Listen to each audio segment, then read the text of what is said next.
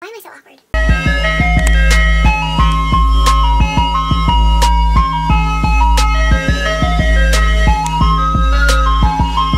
Hey guys, it's Jay and today I'm here with a little Value Village book haul. I picked up five books from my Value Village because it was 50% off day and you know your girl can never say no to a sale. So I figured I would show you guys what I picked up. So without further ado, let us get started.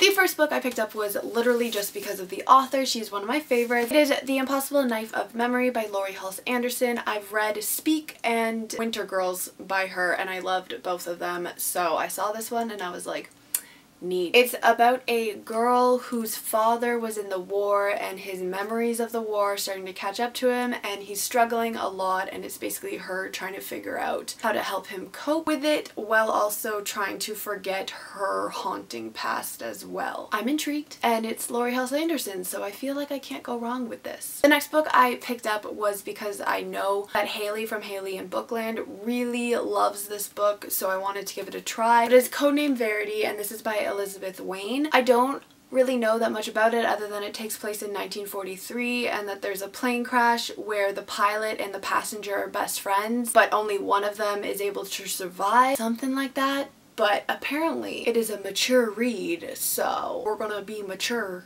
and read this and hopefully I like it as much as other people do. The next book I also picked up because a lot of people say how much they love it. It is Between Shades of Grey by Ruta Sepetys and I again don't know that much about it other than it's set in 1941 and this girl sells her brother for a pocket watch or something like that and then she leaves little clues for her father in her drawings in hope that they reach him I honestly have no idea, but so many people say that this book is amazing, so it was half price and it was there. So I was like, I'm gonna buy it. The next book is The Perfect Girl by Gillian MacMillan. This follows a 17 year old girl named Zoe who committed a crime when she was younger, served her time, and now she is out. And she's this musical prodigy who is about to have her first recital back and her mom Maria wants it to be absolutely perfect. Maria really pushes the fact that this needs to be Zoe's recital of a lifetime and she's been planning it for months and then by the end of the night Maria ends up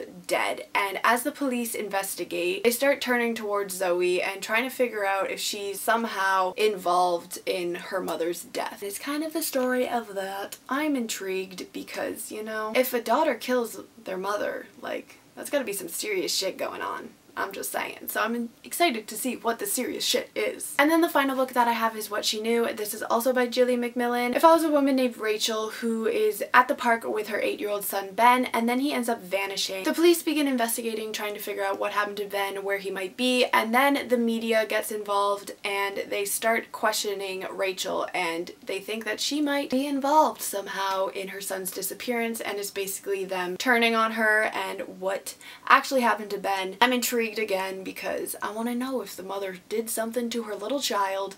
I want to know what happens. Alright guys, so that was my little Value Village book haul. Let me know down below if you guys have read any of these and what you've thought of them and I will see you all in my next video. Goodbye!